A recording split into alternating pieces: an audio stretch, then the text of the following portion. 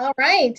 Hi, everybody. Welcome back to our second live event of the day. We've kicked off Canadian Infertility Awareness Week. My name is Carolynn Dube, and I'm the executive director here.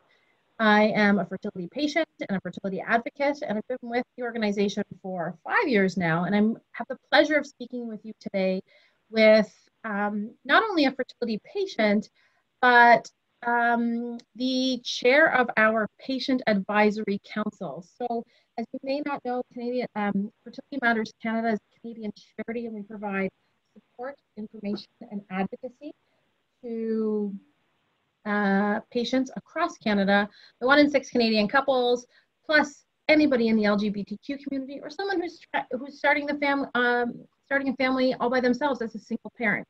We provide support, information, and advocacy work on um, on behalf of the Canadian patient. And what's interesting is that we're a national organization, but we only have two staff. So anything that you see coming out of our office is actually happening two staff people and a whole army of volunteers who are working behind the scenes to help bring events like Canadian Infertility Awareness Week to you. So I want to thank Kelly for being here. She has an incredible story.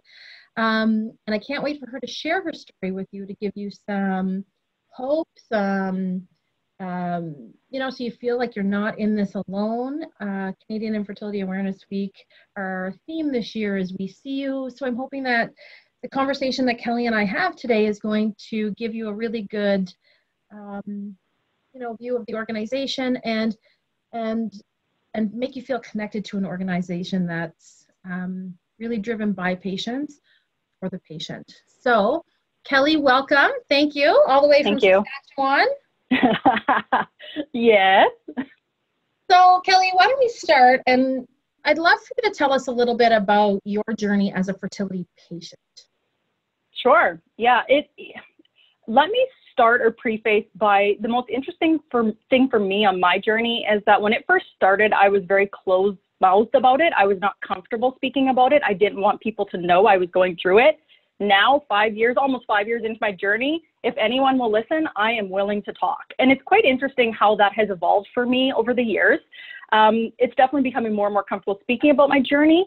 And a big part of that is because I want to help other people through it. Um, so, my husband and I got married in September of 2015. Um, we decided to start trying right away.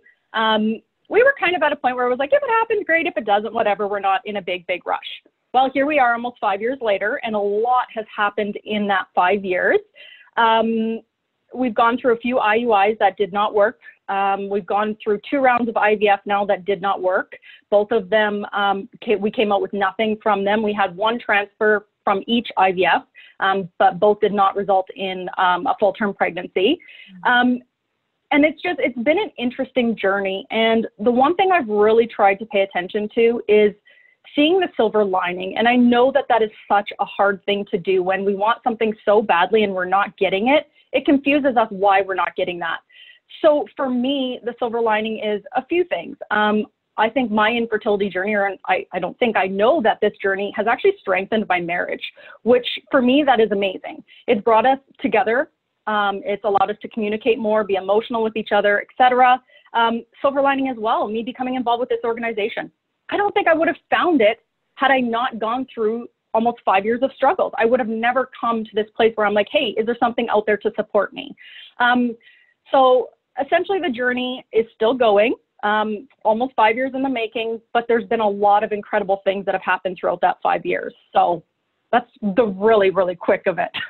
that's amazing. I mean, you know, and you're on this side um, of your journey. You're still in the trenches, really, as a fertility mm-hmm. patient. You're really, mm-hmm. truly, um, your journey hasn't ended.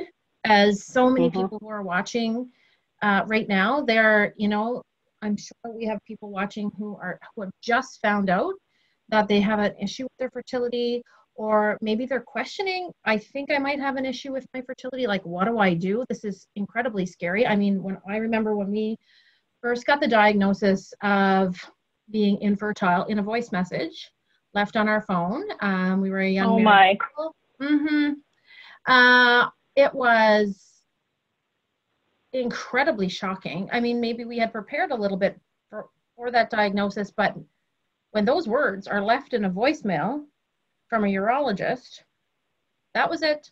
Come see me in my office. That was like, I'll never forget how alone I felt and the emotions that my husband and I had gone through and the, the strain on our relationship as you go through these different levels and different phases of the journey together, but yet really sometimes separately we have male factors. So I can appreciate you still being in the trenches right now, like so many other people. Um, so thank you for sharing that part of your story. So I'd love to know, you know, what part of sort of looking back and looking forward, you know, is there anything that surprised you about this journey? Is there anything, you know, when you looking at now, though you're still in the middle of it, is there anything you'd love to tell yourself back when you just found out that this was going to be an issue? Yeah, I think what what for me is very very interesting is before I started this journey, I had a friend who was struggling to get pregnant, and I remember vaguely listening to her. She she wasn't a she's not a person who really opened up to people. I knew she was struggling, and that's about all I knew. And I I don't think I could wrap my head around what that meant when I hadn't gone through it yet. And now that I'm going through it, I'm like, holy crap, was she dealing with a lot of stuff? So it's really, really, really hard for people who aren't in it to understand everything that comes with it. It's emotional, it's physical, it's financially draining, it's spiritually draining, it's every single way is it draining for us. And I just, I, I, I think what it comes down to is we need to be compassionate with each other. We need to understand that we all have our own journey. And I think the biggest thing for me that I wish I would have known in the beginning is that I needed to reach out for support sooner. I think would be the thing for me because for me, and th- this sounds so crazy, and I, I, think some people can relate to this who've been on this journey, but actually, the longer my journey goes on, I don't want to say the easier it becomes, but the more that I've accepted that this is my journey. My first two years were the hardest. They were like, I didn't understand, sorry, I'm going to get emotional. I didn't understand why this was happening to me why why I was chosen to go through this. And I think that was the hardest pill to swallow. Lucky for me, I have, well, I guess I don't want to say it's lucky for me, but I have friends and I have actually cousins going through the same thing who've been very, very supportive. They started going through this before me. So, yeah, my first two years were the hardest, and I wish I would have reached out for support sooner. Mm-hmm. I don't think I need it, and I still don't think I need like counseling support. It's more just knowing that there's other people out there going through this, and it's okay to feel everything you feel. It's okay to, for example, avoid baby showers. It's okay to not go to your friend's kids' birthday parties. It's okay to not go to school concerts if, if that's hard for you. And I think over time, that's something I've really come to realize. It's, it's okay. It's okay for me to feel these ways. And it's okay for all of us to deal with our emotions how we need to. And typically, like I haven't cried in a long time about this journey. I just think it's being vulnerable in front of everybody that's that's Absolutely. challenging. But yeah, it's you, it's thank just, you for for letting us be part of this story and see how vulnerable or, or becoming vulnerable because I can tell you that by you sharing your story right now, you are giving other people, you are changing their lives. Um, so thank you for that. It's incredibly important. Absolutely. Absolutely. And and you know what's super ironic is again, in the first two years I cried a lot. Like don't get me wrong, I cried a lot. Every single month I was crying. And I couldn't tell you the last time I've cried only because it, it reminds me so much of the the steps of like going through grieving. Is it's like the acceptance, the denial, the blah, like all those different stages. I'm at a point where it's like, okay, Kelly, just trust, it's gonna work out, everything will be okay. And it's just yeah, the longer it's gone on, uh, yeah, not the easier. I don't know what word I like there, but it's just I've just it, it's become the reality and I'm okay with it. It's all going to work out. Yeah. So I wonder, and I'm not sure the answer to this, do you feel that maybe feeling because you've connected with a group and an organization like Fertility Matters, is there some part of it that feels, you know, okay, I've connected with a community of people. There are so many other people, I'm sure, especially your involvement in this organization at the level you're involved with the organization. You know, I mean, I know that you're connecting with people who have struggled building their families every single day. Um, and do you feel that maybe, and I don't know, I don't want to put words in your mouth, but do you feel that maybe the information that you've gathered, the like connecting with the social media or connecting with the website to say, wow, this is, do you feel more empowered? Do you feel, talk me through some of that stuff. Yeah, I think for me, the biggest thing was I always knew I wasn't the only person in the world on this journey. It was always very obvious that that wasn't the case. But it's just, it's been so nice to be within this community of being able to share our stories and bounce ideas off each other and experiences and saying, hey, have you ever tried this? Have you tried acupuncture? Have you tried this? Etc. So it's just, it's been very important for me to be part of this community on two, on two sides of things, to receive support and to also give support. I think it's so important that because of the years that I've spent in the trenches, like you called it, I feel like I can't just hold that information in for myself. I need to be able to get out there and give it to others, and I'm comfortable to do that as well. I'm okay to say, "Hey, this is my story. It's been 5 years of a lot of a lot of downs and a few ups, but a lot of downs." And I'm okay with that story right now. I want obviously the outcome, but I'm okay with it and I'm willing to share that and I'm willing to speak with others about it. So, yeah, it's just it's been so important for me to to provide that support and also just receive that support as well. Yeah, and I, I mean, you provide so much support. Kelly, for those of you who don't know, um, chairs our advisory council and has been instrumental in bringing forward CIAW this year. The events, she's been heavily involved in the events and the um, activities, virtual activities that we've got going on. Um, so she's played an integral part bringing that information. The patient voice, bringing information to the patients, it's incredibly powerful. Kelly, I'd love to know, tell me why CIAW. So for those of you who don't know, CIAW is Canadian Infertility Awareness Week. We are aligned with NIAW, which is in the United States with our, our partners in crime Resolve, the support organization there. Um, we've combined our weeks and we work together to support Canadians and American families going through this. Um, I'd love to know why CIAW is important to you. Oh gosh, how much time do we have here? I would say I would say for me there's there's three things that are very very important for me when it comes to this. The first piece of it would be just education. Um, we have so many amazing speakers lined up this week that are going to educate us on all different topics that come within this fertility world.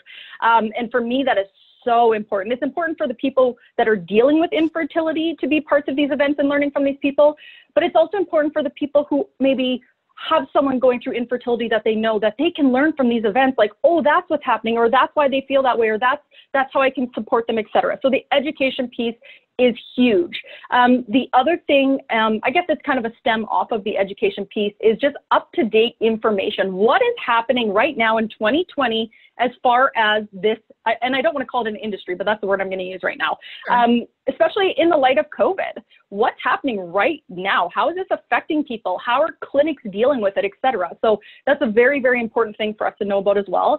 And for me, the biggest, biggest piece is, and it's what we've talked about for most of this, is the support that we are able to provide to people.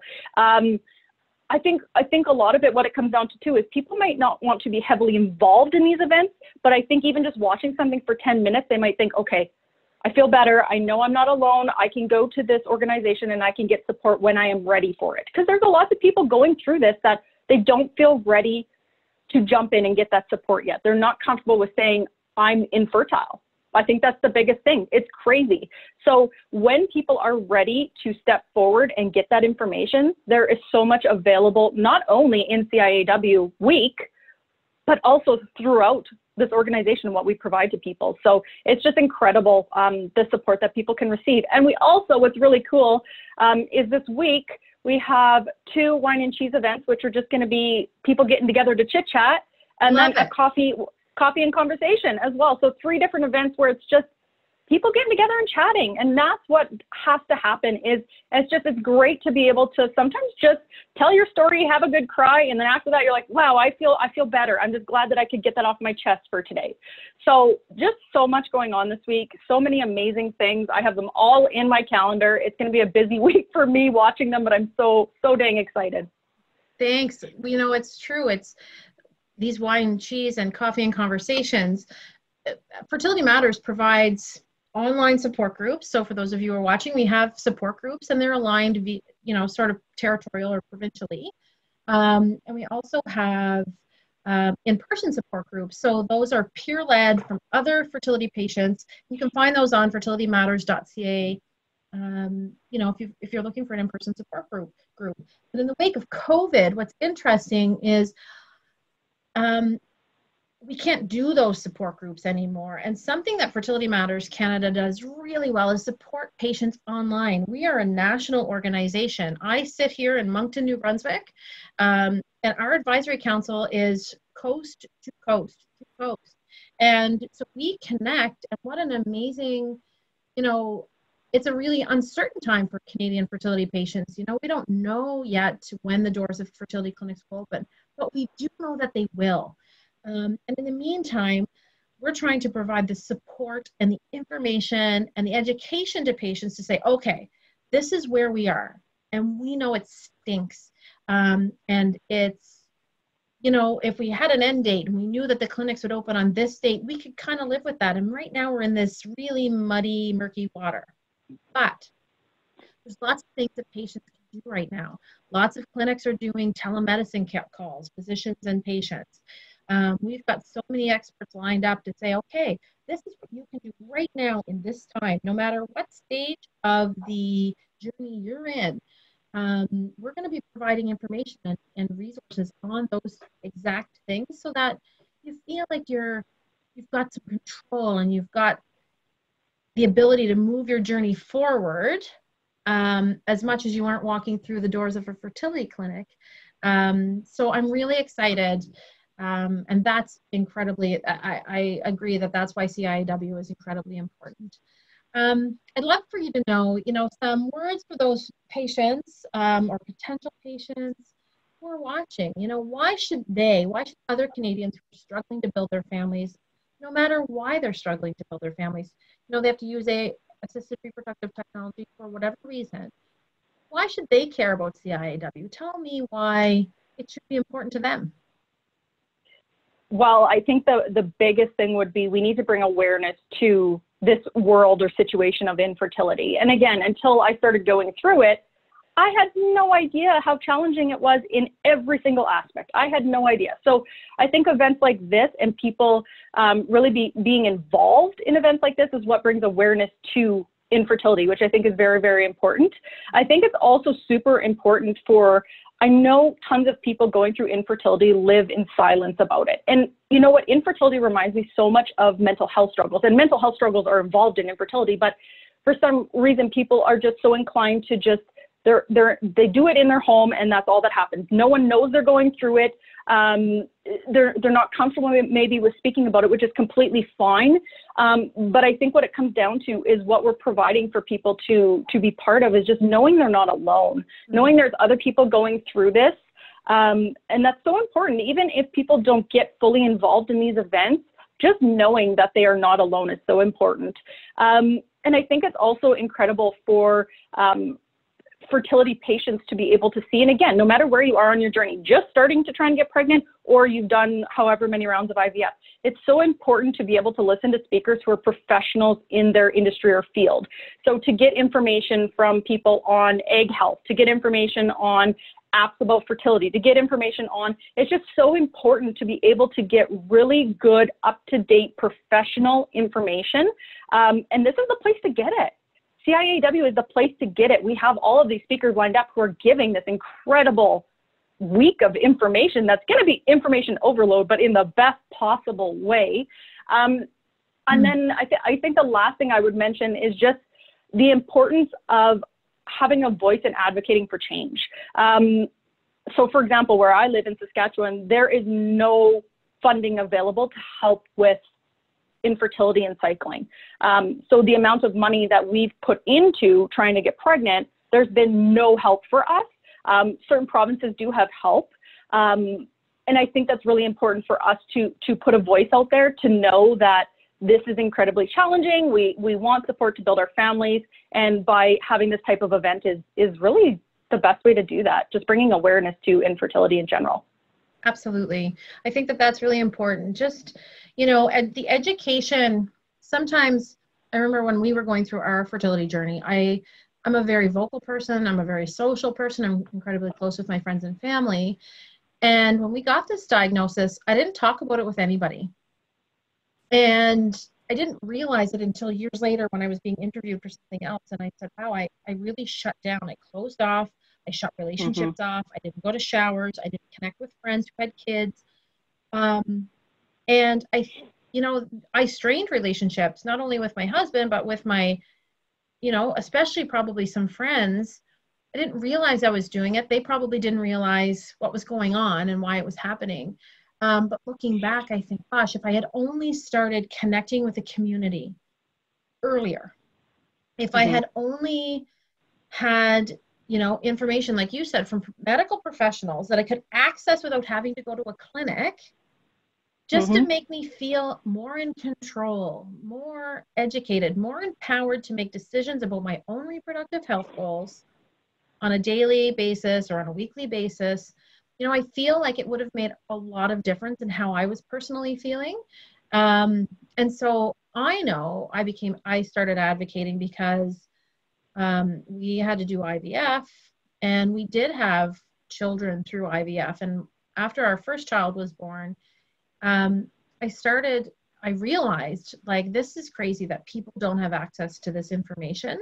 And I never wanted anybody else to feel so alone as I did and my husband did and um and I I promised myself that I would advocate and that's what I that's how I got into the this this world um because it's not how I started. This is not my this is wasn't the industry I worked in or trained in. Um so it's incredibly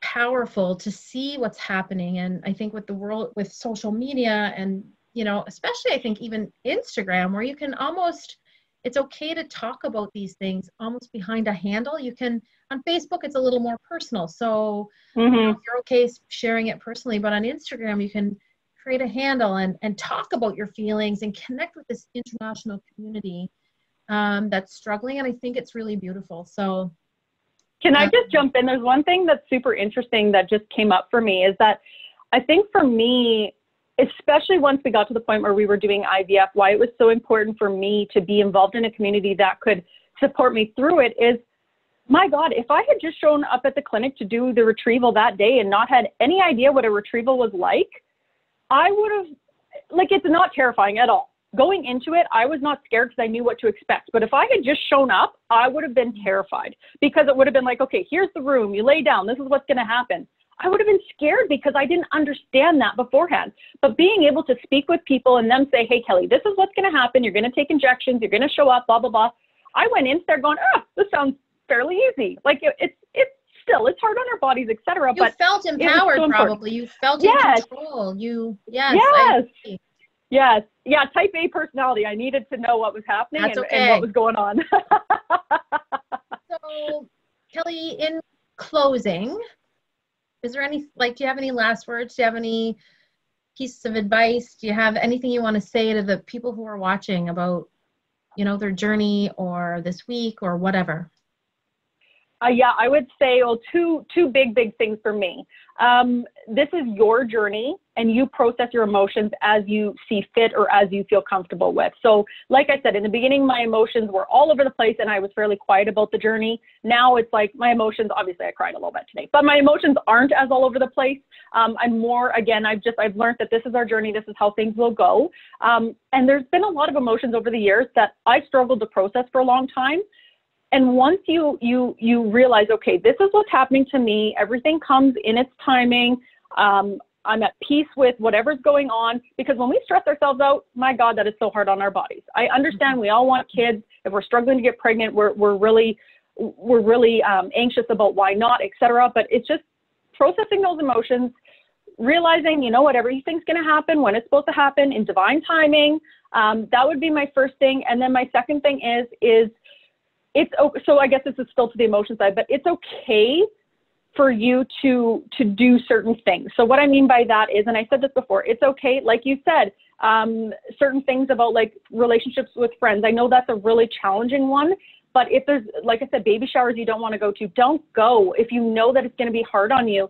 Um, there's certain things I've avoided because I went once to something and I literally was sick to my stomach for two days after because I knew it was something that was going to be hard to do but I pushed myself to do it thinking that would be okay. So that situation or that scenario made me realize, you know what, Kelly, you're not comfortable with that, and that's okay. Don't force yourself to do things you're not comfortable with. So um, processing your emotions and then just realizing it's okay to, to do what is best for you and never feel guilty about that. If you don't want to go out with girlfriends because you got your period yesterday, don't go. You're not going to have fun. It's not going to be enjoyable and you're not, you're not going to, you're, yeah, you're just you're not going to enjoy it. So just don't do it. And that's okay. It's okay. Um, sorry, I guess it'd be a third thing there. Um, to me, it's not a bad idea. It depends what extent I guess you're comfortable with, but just letting your friends know what you're going through. They don't need to know the whole piece and puzzle, but I think it's really important for them to know things like, you know what, I'm really sorry if if I'm disconnected, if I'm not coming to things, I'm dealing with this and that's why. Because if you're canceling last minute, if you're avoiding things, they're going to think that you're pissed off at them. Really? Oh, sorry. Beep. You're okay. you're beep at them. right? So it's it's I think it is really important just at least for them to know, hey, I'm not I'm not comfortable sharing too much. This is kind of what we're going through. So if I feel disconnected from you, this is why. Just please understand that this is what's going on because I think that is really important as well.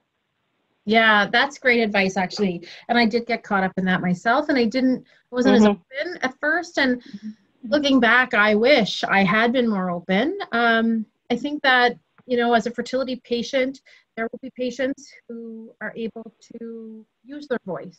Um, they're more mm-hmm. There will be patients who can't use their voice. They're not comfortable with that, and that's okay. And so we are here as an organization to encourage those of you who are interested in sharing your story, no matter what part of the journey. Maybe you need to get through your journey before you talk about it. Maybe you're mm-hmm. very open about it from day one. Um, we encourage you to share your story because it will give hope to those who aren't there yet and who maybe never will be, and, and that's okay speaking for them, helping them, giving them a voice, especially during Canadian Infertility Awareness Week, is incredibly powerful. And I invite you mm-hmm. all to join us on all of our social media platforms. Of course, Facebook, we're very active over on Instagram. We've got some awesome contests happening over there. So make sure you like us at fertility underscore Canada uh, on Instagram and on Twitter. If you're more of a Twitter user, great. Pop on over there. The conversation is still happening. You can join. Um, you can like all of the events. We have them listed on Facebook and, of course, on fertilitymatters.ca forward slash FMC events. Uh, and you can follow uh, the CIAW website to find out more information about the week, fertilitymatters.ca forward slash CIAW. Kelly, thank you for your time today. Thank you You're for welcome. the hours that you have been pouring into this week. really, really um, informative and supportive for patients. We appreciate that. And for those of you who are watching, thank you for your time today. We hope that you'll connect with us through the week. We've got some incredible lineups um, of experts and patients and mindfulness sessions and just facts and figures and those types of things that are important for you um, to empower you on your journey. And we encourage you to download our image or share an image of your journey on social media using the hashtags hashtag CIAW2020 and hashtag WeSeeYou2020. Thank you so much for joining. We are thrilled and we'll see you all back tomorrow for a whole bunch more uh, live events. Thanks, Kelly, and thanks everybody for tuning in.